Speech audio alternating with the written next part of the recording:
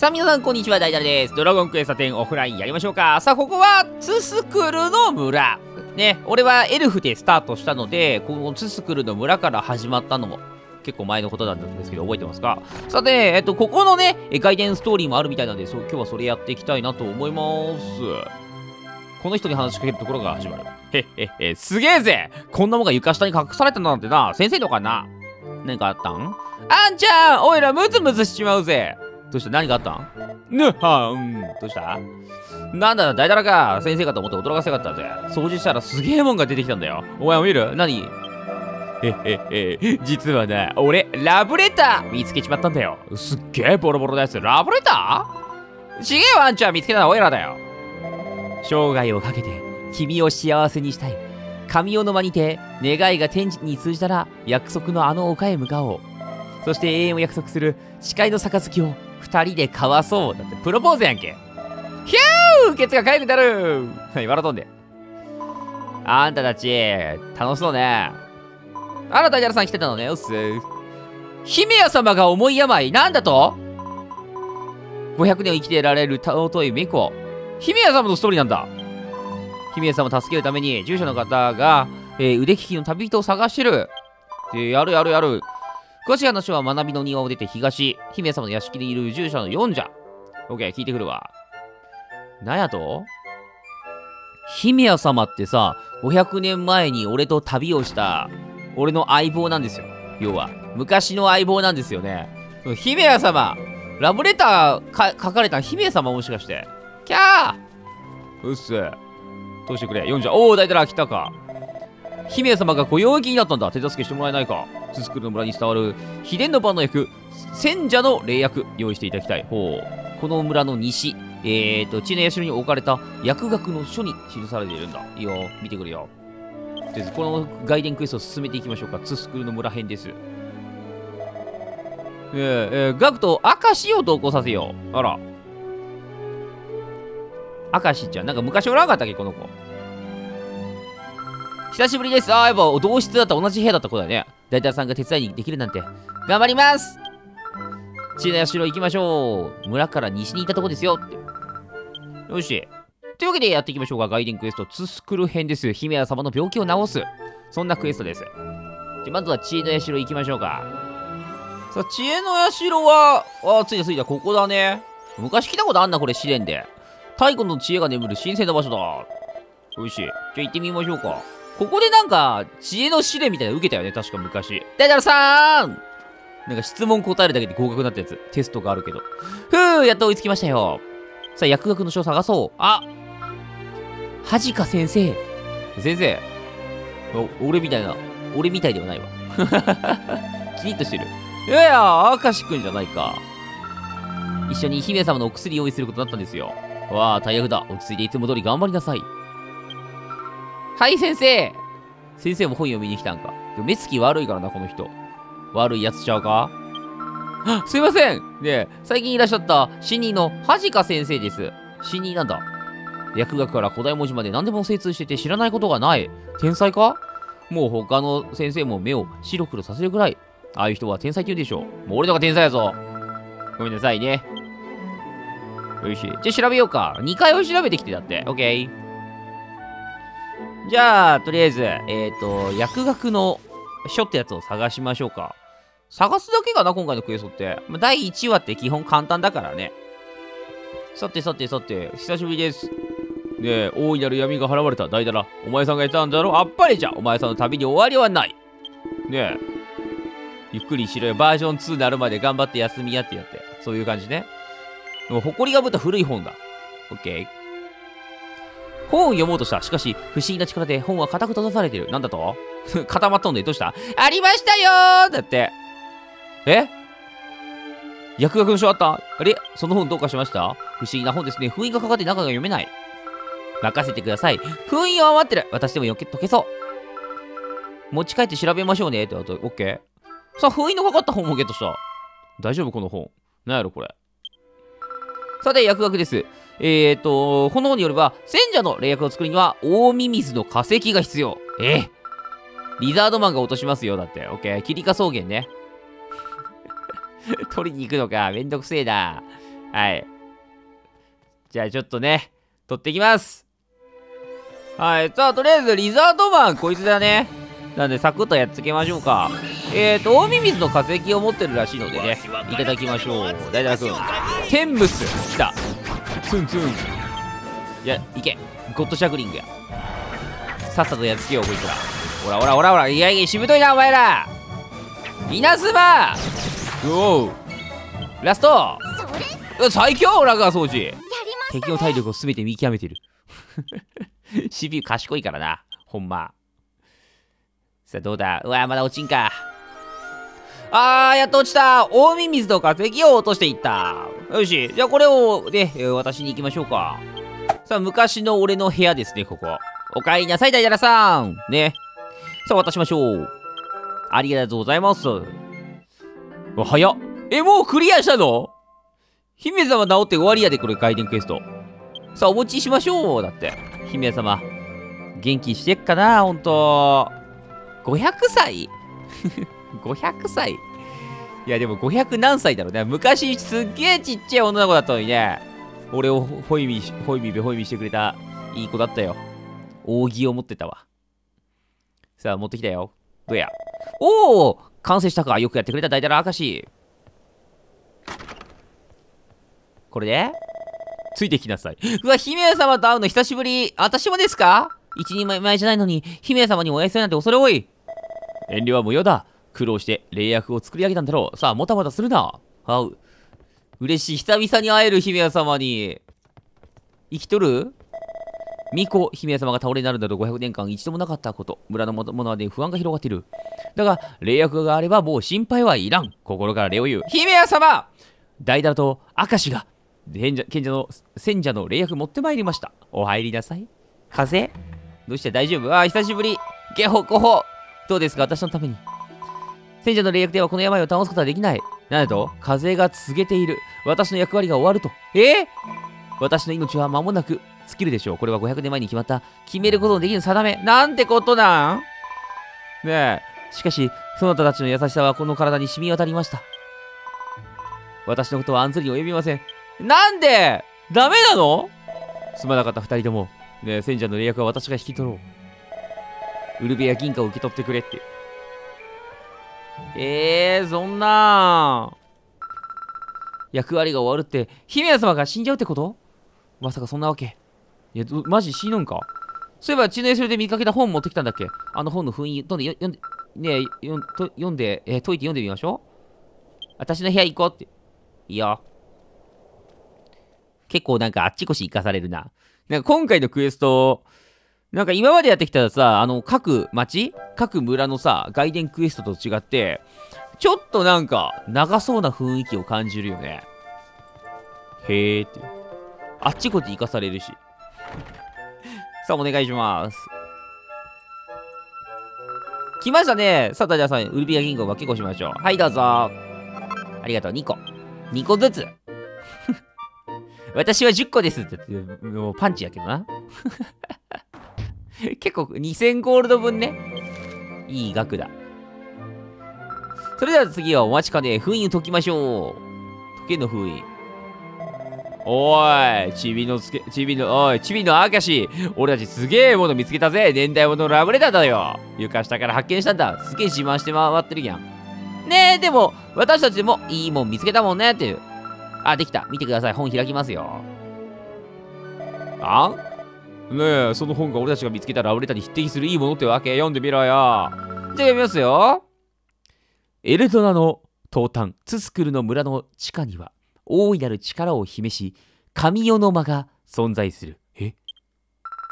かの地では古来より大掛かりな秘術が行われてきた。あの部屋はエルフの歴史であり、大いなる財産なのだ。その神代の間を、をね、とは、あの方は乱心され、な、もう、だそうです。ボロボロで読めない。え、ツスクルの村に地下があるって聞いたことねえ。すげえ発見じゃねえかマジ、神代の間ってのがあんのなんだこのシーンは。地下に眠る謎の部屋。神代の間。その存在を知って、俺は震えたね。こいつは、冒険の始まりだって。でも、それがとんだ大間違いだったのさ。この時の俺に何か言ってやれるってもんなら、俺はこう言ってやりたいね。何が始まってんのこれ。神代の間には関わるなってね。何ドラマこれ。お芝居かな？わーさあなんか、物語が始まってますね、これ。はい、これ。えー、ツツクルの村の食堂行ってこいだって。さっきのやつですね。行ってみましょうか。神代の間には関わるな。え？何が行われんの？神代の間どこにあんだろうな？とりあえず行ってみるか。こんにちは。おー、だいたら、神代の間に、うー調べてみたけどさ、誰に聞いてもそんな部屋なんて知らないって言われるし、記録も何一つ残ってねだから俺のハートがうずくわけよ。これは冒険の始まりだって、どうだい？謎の部屋、神代の間をとことん探してみようじゃねえか。中一者のものを追い求め、ローマに行けようぜっていう。いいよ。さあ、やるか。さあ、姿いたら話の分かる男だ。いいね、ロマンの分かる男だぜ。だろ若葉の探検隊だ。少年探偵団みたいなやつ？ちょっと待ってくださいよ明石ちゃんも来た。入れてほしいんか？あの封印された書物は私と大太郎さんが見つけたんですよ。3人だけなんでずるいいいだろう。チビの明石を加えて、改めて若葉の探検隊、結成である来た、俺も隊員なんか。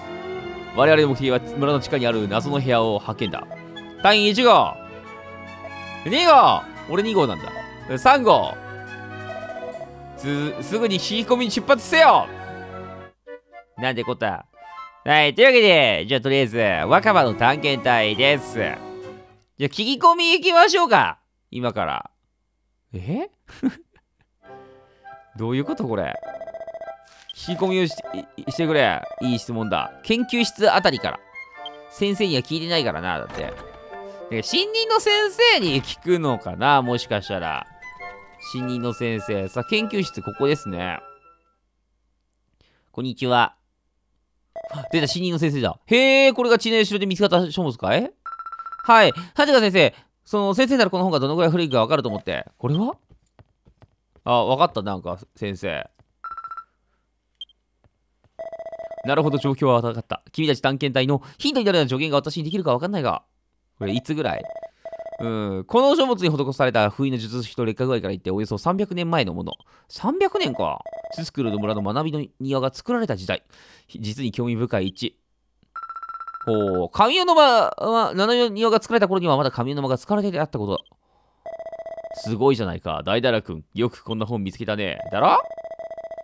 ねえ、これも見てくれよ。ラブレターだぜ。生かしてんだぜっていう。10年洗ったんですけど、300年前の学びの庭の建設にはある建築家の一族が携わってる。へえ。ドン一族。ドルワーム王国で聞いてみる？当時の記録が残ってるかも。名推理じゃないですか。いや、行ってきてやるよ。悪くないアイデアだ。タイたちを早速ドルワームに出発せよ私は待つから、君らが頑張ってきてくれって。おい、隊長サボってるだけやぞ、お前。隊長がもっと動かせ。みんな行かれへんから俺が行かなあかんやん、しかも。さあ、マップ的にここだね、ドルワム王国の、えー、っと、ドン一族だったっけ？こんにちは。この人かな？うーん。はいはい。偉大な建築家、ドンパパチョならわしのことだよ、はは。ススクルの部屋、村の謎の部屋探してる？それはまた大津なことしてるね。昔の図面残ってるでしょ。残ってんだ、昔の図面。300年間残してる。さすがだわ。ドワーフはすごいよね。はい、お待たせ。設計図だよ。確か当時の村には、神代の待て部屋があったみたいだね。本当ですか？昔、ツスクルの村の地下には迷宮が広がってららしい。その奥に神代の間はあった迷宮があったんだ。学びの庭はその迷宮の真上に建てられた。そして迷宮の入り口は、えー、職員宿舎の中に残された。へえ、桜の間と呼ばれてる部屋。桜の間？ねえ、桜の間は妙な噂が絶えないから使われなくなったという岩付きの部屋。あの部屋だけはダメだよ行くのはやばいってオイラも見たんだよ。女の幽霊を。マジ？ねえ、神の間のありかがついに判明したんすよ。早く帰ろう。場所分かったじゃん、もう。意外と簡単だったね。なんだかんだ言ってさ、明石ちゃんとかもみんなついてきたんだよな、俺たちに。すげえな、ルーラストーンで一緒に行ったんかな。さ、隊長何してんの、隊長。サボンな、お前。ないないここ何どこ行っちまったんだよ何やってんだよおいなくしたんかなんかすまん俺たちの宝ラブレターが消えたおーっとなんでだよあんちゃんだほんたらスライムの。見てバカにしてる。うるせえバカ。神のバカブームなんだからよ。ドラマあったか収穫。あったよ。桜の間にあるって。でっかしたぞ。えー、桜の間が神の間に続く地下迷宮の入り口か。行くのほんと。ダメだよやめようよ。女の幽霊が出るんだ。マジ？怖いね。うん。はいはい。お前のことから見間違いだよっていう。諸君長旅ご苦労だった。でとりあえず君たちの働き手によって神の間の入り口が明らかになった。ありがとう。なんかお小遣いくれた。エルタナ水星意外とお金くれるんだ。旅費くれた旅費。というわけで探検隊のクエスト1個目。攻略です。よかったよかった。この次侵入すんのかな？はは驚いたか。ちゃんと報酬用意したよっていう。で、長旅の疲れを癒すがよい。休んだら出発しよう。オッケー。体調ちゃんと休む時間くれねえな。ええやつかもしれん。ま、なんかあったやん、これ。またこの流れ？違うんだ違うんだよおいら本当に幽霊を見たんだあの日、雨の日、おいらは授業をサボって昼寝でもしようと思って桜の間に近づいたんだ。サボったんかお前。そしたらちょうど雷が落ちて、窓に白い女の顔が浮かんでるのが見えたんだ。マジかよ。ヒミヤさんはちゃうかその白い顔って。でも、エルフみんな結構肌白いからな。フーラちゃんかもしれん。ちゃうかな次。ナイスタイミングだ、2号。時が満ちた。これより我々は謎の部屋、神尾の間を目指して地下探索だ。よし、行きましょうか。さて、まずは、職員宿舎にある桜の間だ。いいか、よく聞け。職員宿舎とは、この食堂を出てすぐ左手に見える建物。桜の間はその右端だよ。行くぞ。さあ、亡霊の声。怖いクエスト名だな。亡霊出んのマジ。さあ、出て右だっけ出て右の建物、桜の間。これか、職員用宿舎。で、ここの一番右の部屋が使われてない部屋ってことなんだ。ここが。えー、どこやろ？床のカーペットの下かなここが噂の幽霊部屋、桜の間。見たとこ普通の部屋ですね。どこかに入り口があるはず。まあ、調べてみようか。なんだろうな昔見たことあるけどね、多分道具とか探すのに。うん、タンス開けられへんもんな、ほんと。本はない。もう、もう見つけてもうたけど。片っ端から見つけて探したらあったで。あんのマジで。え？マジで？俺たち見つけちゃったやん。棚の下から地下へ続く端っこが現れた。マジ？あったよ。うーなんか聞こえなかった？え、怖い怖い怖い。幽霊だよ！何よ、ビビってんだよ。風の音だろ？諸君これより我々は若葉探検隊は神の前を目指し地下探検だ。この先いかなる危険があるともわからん。数々の苦難を乗り越えてきた我々だ。なんか苦難あったっけ？生きて帰れなかったらどうするつもりだい？先生だ何やがら騒がしいから来てみたら本当に神代の馬の道を見つけるとは行動力があるのはいいことだが私が死である以上ガクトの君たちに危険な行動を許すわけにはいかないもう俺が行くやじゃあ俺、卒業生やから。大太郎さん、あなたもですよ。諦めて帰ってくれますね。いいえ。よく言ったぜ嫌だね先生だって言ったじゃねえか。学問とは探求心。私もこの先何があるのか確かめたいんですよ。ふーん。わかった。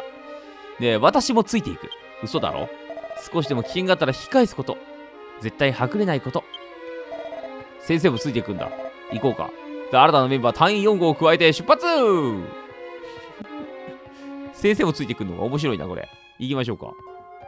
先生、怪しい目つき悪いからなど、どうしよう、先生が一緒なんて。でもみんな気にせず降りていくな。元気あります？勇気あります？おりっちゃん最後。さあ、行こうか。え、地下迷宮。普通にダンジョンなんかなこれって。気になります。でもぜみんなどう思う？先生が悪者かいいもんか？ちょ予想しといて。悪者かいいもんか？どっちなんでしょうね。さて、ここのクエスト、敵の強さとかどんなもんなんだろう、これ。あんま強くなさそうだ。ちょっと一回ね、全くエンカウントしねえ。ビビらねえ。ビビらせてやろうかと思ったけど。誰も気づかねえ、俺の存在に。俺は、俺は空気の男大だな。悲しくなるだろ。空気の男とか言わんといてくれ。ねえ。宝箱赤いからなしょぼいぞ、これ。よし、やっと一番奥まで到着しました。さあ、神代の間行きましょうか。神代の間で待っているよっていう。ねえ。発言があった通り。なんかロマンティックな場所なんでしょうか。綺麗なとこなんかな。あ、入られへんのじゃん、これ。実は。封印されてそう。封印が道塞いちゃってる。なんで強いしから。こんなに強い封印、私には解けない。先に進むの諦めるしかないですね。先生解けない？やはり私の読みに間違いはない。何？読みって。解けたけどすごい封印が消えちゃったいいんすか？あの、はじか先生？こいつやっぱ悪もんかもしれん。なんかあったで本がいっぱい。ロマンティックではないな。うへへすげえ足跡つけとこうと。どうしたんだよはじか先生、何やってんだ？ああ、すまない。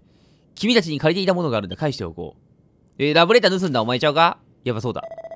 この手紙は参考にさせてもらった。え？参考に？ラブレター盗んだのはあなたなんですね。うーん。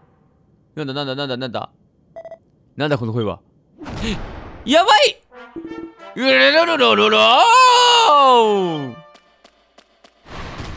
え？行っちゃった村行ったくねやばくね姫様、なんということをで、出た女の幽霊だよいや、姫様だよ。え？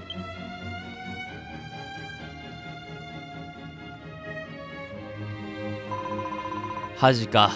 ねえ。風のだな、そなただな。死とあろう者がどういうつもりか聞かせてもらおう。やっぱこいつ悪者か？なんで封印といたんや？モンスターが封印されてたんか、ここには。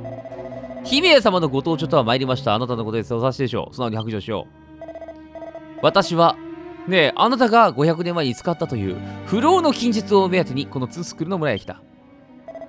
私は人生で全ての学問を捧げてきて悟った。たどり着くのには人の一生はあまりにも短い。だからもっと生きたいんだ。いかなる賢者の英知も命つければ一瞬で無にキス。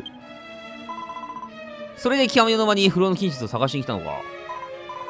ね、不老の金術は書に残しておらぬ。ねえ、不老の金術がどれだけ人々に可能性をもたらすかを。不老の金術みんな欲しい？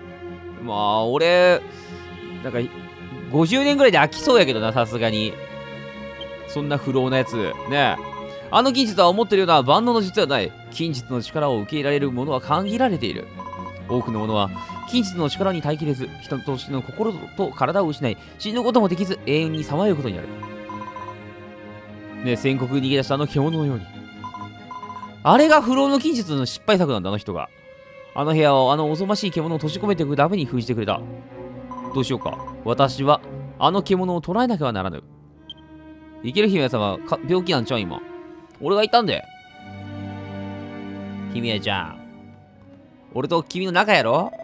あの獣は、ねえ、不老の金術の犠牲者か。ならば奴の体を調べ、若手で金術の力を解き明かすまでだ。先生、欲望まみれやんけ、この人。おいらが桜友の指と揺れて姫様だったんだな。へへ、姫様会ったことなかったから勘違いしまったんで。やっぱそうやったんか。あー、5本神谷の間の姿が明らかになったな。任務を達成した諸君らには記念品だ。ありがとう。お前金持ちやろ。めっちゃ金持ちやろ、お前。隊長ありがとう。ついていきます。さあ、これで3つ目のクエスト終わり。次は4つ目いこうか。さて、探検隊は解散だなんかもう俺たちの役目な、終わったなくねどうしようか。待てよ、あんちゃん姫様のお手伝いするぐらいだよね。まさか私たちの探検がこんな結果を招いてしまうなんて。でもこんな状況だというのに、私は一つどうしても気がかりなことがありました。なぜはじか先生は、この他が拾ったラブレターなんて欲しがったんでしょうか。その方がどうしても気になって、私は一人になってからラブレターを開き、ようやく気づいたのです。なんかあった？私どうして今まで気づかなかったんだろう。なんかラブレターには謎があったの？ねえ教えてよ俺には。じゃあ次のまた第4話目いきましょうか。ダイヤさん私、とんでもないことに気づいちゃったかも。ねラブレター見てください。出た、これ、何、何なんラブレターなんそう。生涯をかけて君を幸せにしたい。神尾の間に,、ね、のにて願いが、天に通じたなら、約束のあの丘へ向かおう。あの丘ってどこ？永遠を約束する誓いの杯を二人で交わそう。ラブレターは神尾の間のことが書かれてる。うん。大切な意味がある。獣を追いかけた姫様を探してくれませんか？いいよ。え、姫様のカレピなの？もしかして。この人って。そ姫様の部屋で聞いてみよう。そう姫屋の姫、姫、姫屋願い。いや、姫だ願い。行きましょうか。はい。とりあえず、適当に行きましょう。えー、っと、読んじゃだっけ？あの人に聞くのかな？話を。姫様、顔見せてくれるかな？500年前の冒険忘れてくれる？忘れてんのかな？姫様が姿を消した。アズラに向かう姫様らしき人を見たという情報もあり人を向けた。姫様の身に何かあったら一体した。姫様様探してくれって。姫様を探せ。どこいたの？姫様。おアズラに着いたらなんかアズランの1個。家に丸がついてるからちょっと行ってみるか。ね姫様アズラに向かったよみたいな話があったんでね。ちょっと行ってみましょうか。あおじいちゃんだ。久しぶりだ。な、何 G やったっけ？何 G? そうですか、この家におとばしい化け物が来たということですね。ええ？ー、あ、よき G だ。ただでさえおい先短い日ですのに、寿命が10年は縮んだ思いですわ。その上、誓いの杯まで奪われてもろて。杯を交わそう言ってた。今の若い人は知らんかもしれませんが、誓いの杯ってのは婚礼の日で使う下でしてな。うちは大体その誓いの杯を作っておりますじゃ。そんなものどうして化け物が持っていたのか。確かラブレターにあったよな。ねえ、ここの、この後だ。永遠を約束する誓いの杯を二人で交わそう。あの丘で待っているだけ。ラブレターに書いてたわ。あ、お許しください。あの獣のことを語る前に私のことを話さなきゃいけない。姫谷ちゃんについて。どうしたの、姫谷ちゃん。ツスクルの民は世界中に使える一族。中でも秀でた者は世界中の守り人に選ばれ、不老の禁地で長い寿命を与えられるんだ。あー、私は500年前に一族から選ばれた世界中の守り人。ねえ、不老の禁止によって与えられた長い寿命は私の手呪いにも等しきもので。誰も彼も皆、私を置いていき死んでいく。愛する者と共に生きることのできない。それが永遠に生きる者の定め。辛いよな、500年間も生き続けるの。一人だけでのが辛いよな。しかし、私はその定めに逆らい許される過ちを犯した。300年前。ねえ、琥珀というな男に会った。不思議な男だ。ねえ、誰もが私の定めを知ると去っていくのに、彼だけは全く意に介さぬ様子で。彼のそばにいると、心が安らぐ。いつしか私たちは愛し合うようになり、そして、姫谷ちゃんのカレピやんけ、やっぱ。姫谷、共に永遠を生きよう。不老の禁止を僕に使ってくれ。君を孤独から救いたい。永遠の夫婦っていいね。それじゃまださかあの獣は？琥珀の体は不老の禁止の力に耐えることができなかったんだ。えー、かわいそう。頼ってください姫様手紙を見てください。これは姫様に与えられたものではありませんか？このラブレター。その他手紙をどこで？生涯をかけて君を幸せにしたい。神代の間にて願いが天地に通じたら、約束のあの丘へ向かおう。そして永遠を約束する誓いの杯を二人で交わそう。ねえ、この手紙は琥珀さんが緊張を受ける前に姫様にあ当てて書いた結婚を約束する手紙。琥珀さんは心を失った今でも手紙に書いた約束を、300年前の約束を覚えているんです。ねえ、それを果たすために家に来て誓いの杯を盗んだ？つまらぬこと。紅白はもう人ではない。誰より私が知ってるんだ。300年閉じ込めてきたんです。命を絶ってやることが紅白のためと知りながら。殺すか。でもやっつけるんかな絶対やっつけんだろうな、この後姫様。ありがとうございました。あ、もう終わり？早っ第4話早っ次ラストか。絶対戦うやん、次。私たちが姫さんの後にできることないかなどうすっぺ出た、姫様だ。天は私たちの願いを聞き入れなか、聞き入れなかった。二日に及ぶ禁止の最聖書の末に、私が目にしたのは琥珀の爪に引き裂かれ、無残な姿で倒れる従者たちの姿。神の間は変わり果てた琥珀によって赤く染まった。私は彼を牢に閉じ込め、神の間ごと封じるほかなかった。そして10年、100年、300年、私は琥珀を救う方法を探し続けた。だが、時が過ぎるほどこう思い知らされた。琥珀を救う道などどこにも存在しないと。かわいそうにな。俺がやっつけてくるよ天下無双さて、クエスト受けるがね。これが最後のクエストです。おお、大だら来てくれた。姫様がその後と明石を呼んでいるんだ。明石も来た。行こうぜ。明石も来たから、ふた二人とも入れ。まあ、久しぶりです、姫様。大だら、そして明石よく来てくれました。そのたちと別れた後考えてみた。紅白あのようなことにならなければ、私たちは300年前に婚礼の儀を行うはずだった。もしもそなたの言う通り紅白が約束を覚えていなら、ねえ、約束の地、世界樹の丘へ。あそこか、世界樹の丘。私は世界樹の丘へ行こう。大体明石、そなたたちも行ってくれますか？わかった。グリーンオブくれる。姫様、風邪は？怪我大丈夫？怪我、病気大丈夫なんかな？この村の東にある雲の森を抜けた先です。行こう。不老の術言ってたけど、普通にかかんねんな。俺もかけな、かか、飲まなあかんのか、飲むっていうか、かからなあかんのかな、不老の術。一番優秀やで、俺が。もう自分で言うけど一番優秀やからな。この天才大だらくんやからね、この村の振動大だらです。さてと、世界一の丘だよ。世界一の丘じゃ、だというに恐ろしい化け物が入り込んでしもって、今、姫様が化け物を追って自ら世界一の丘に向かわれたのじゃ。世界一の丘行きます久しぶりだなここに来るのも、ボッコボコにしてやるぜ。うわ、出た出た出た。完全魔物やん。うひゃー思えば、そうだと最初に出会ったのもこの丘であったなああれから300年。時が流れ、夜が移りゆく中で私とそなたの時間だけ止まったままだ。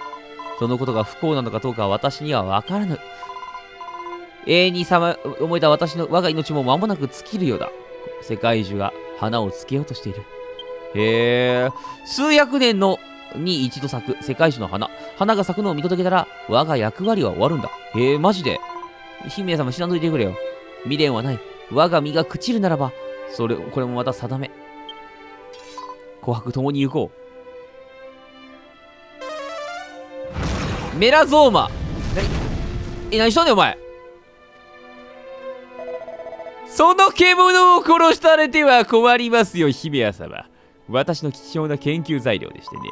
貴様、まだ不老の術を欲するか。おい、お前、姫様何こういう人だよお前。永遠の命は生きとし生ける者の共通の夢でしょう。いかなるリスクがあろうと手を出す価値は。うわ、うわ、強いうわふうふうふう。琥珀。めっちゃ超えるけど、俺も襲いかかってくんのかよさて、呪縛の魔獣。倒しましょうか。ボッコボコにするわ、もう天むす俺強え。はいもうとりあえず1ターン目はもう何もさせません。ガラハン。テンプレコードこの辺。はいテンプレドーン。はい次。これでここでバイキルと大体バイキルと大体最強。からのでベストスマイル経験値を増やす。これよ。マジ。テンムス。大体最強マジで次ルカにもする。はい。ルカに防御力ダウンかける。でからの精霊の風。たまに特技が2回出る。これ絶対強いよな。はい特技1問が2回出る。でもここは殴りに行きましょう。バギムーチョ。はいバギバギムーチョ。500強い。はい小玉もする。強すぎる。おおはよう。痛い痛い痛いフラちゃん闇のブレス。フラちゃん死ね？フラちゃん死にそう。危ない。ねえ天むす行こう。スーン！強い！ここはねゴッジャー。行こう。ゴッジャー。攻撃力下げます。攻撃力高かったと思ったらこいつゴッジャー。小玉しろ小玉しろゴッジャー。しない。じゃあここはね一旦全体防御力アップ。よし。でラガス王子はさすがにここは、えーベホイム。フレちゃん。フレちゃん死んじゃうフレちゃん体力低いねんななんかこのメンツで見ると。アサシンアタック。怖っ。アサシンアタックよけるね俺。強い。ダイヤ最強はいはいはいはいはい。マジ俺強えな。俺はもうこれで無双します。いけ。むこだました。うますぎる。さあもうあとは殴りボコ殴りボコすだけですここ。手無双。よし。いや繰り返したバグ出たバグバグってる強すぎる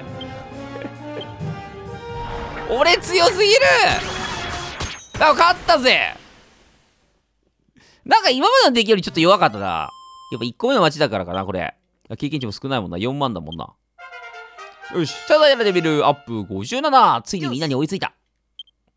あ、ちょうど追いついた。いいね。うー、うー、姫や。喋った。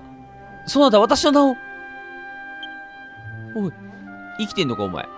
理性あるんか？私がわかるか？琥珀。うやー痛い。姫様。そなたは私に人としての幸福と生きることの意味を教えてくれた。代わりに私はそなたに何を与えられただろうか。すべてを奪い300年鎖につなぎ。ねえ、すまない。我が手で読みを送ろう。ズブシュワ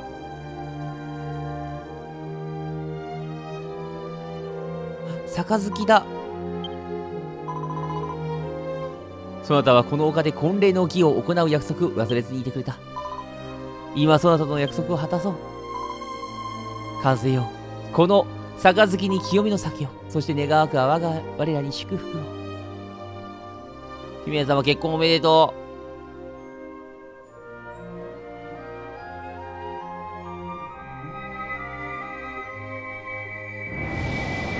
おー、なんだ、すごいまがまかしい霧が消えちゃった。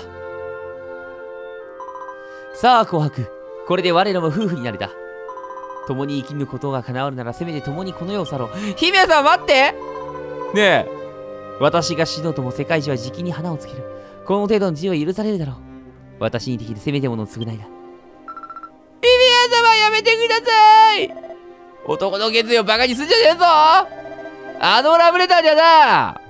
男と一生分のすんげえ覚悟が詰まってんだ。それを踏みにしろってのか。俺たちの夢を壊すのか？って。いやこんな償いなんて望んでるわけないじゃないですか。っていうの間違いないね死ぬのはやめてくれって生きてくれよ姫様がいなくなったらって明石ちゃんマジちっちゃいななあ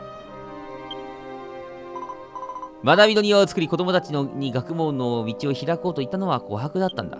えー、琥珀が最初だったんだ。見えるか？共に生きることが叶わなかったが、ここに我らの子供たちがいる。姫様。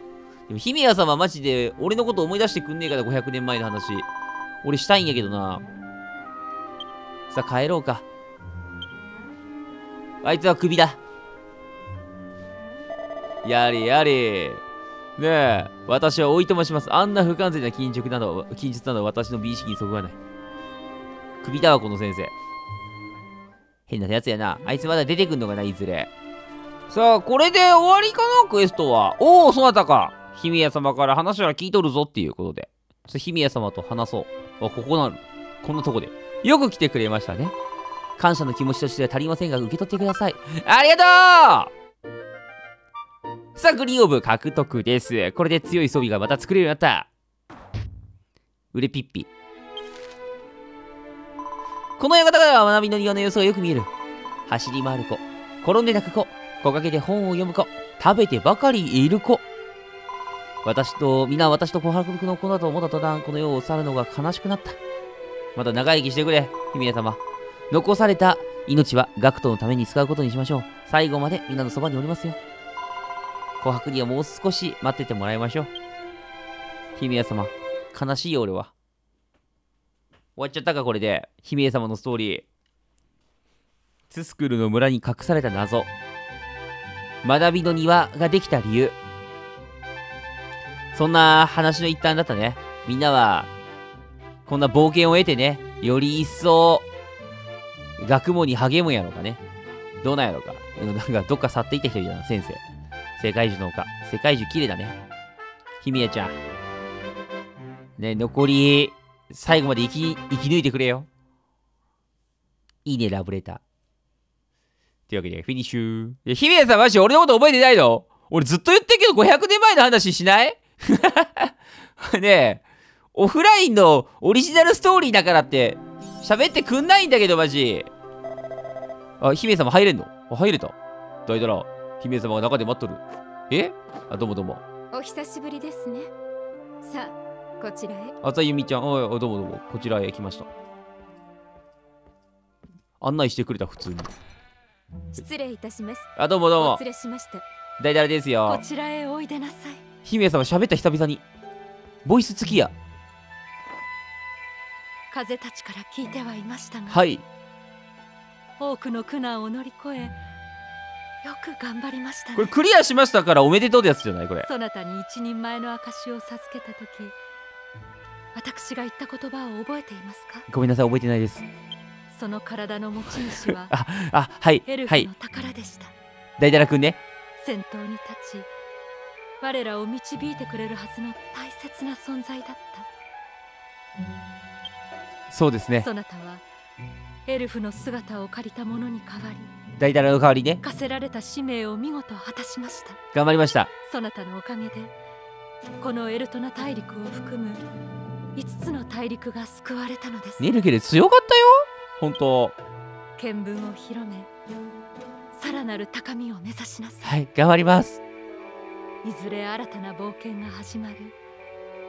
その時までダウンロードコンテンツ出るまでね。私はずっとここでそなたの旅の安全を祈っています。一緒に旅せえへんか？姫江ちゃん。ではお気をつけて。あそんだけだ。いいお言葉いただきました。ありがとうございます。ちょっとなんかこういったのがあったって感じ。自分の初期村に帰ったこういう話あったのかな？ねはい。というわけで皆さん今回ここまでにしたいと思います。トゥスクールの村、一番最初のね、初期村の外伝クエストでした。これも多分やったことなかったと思うな、俺。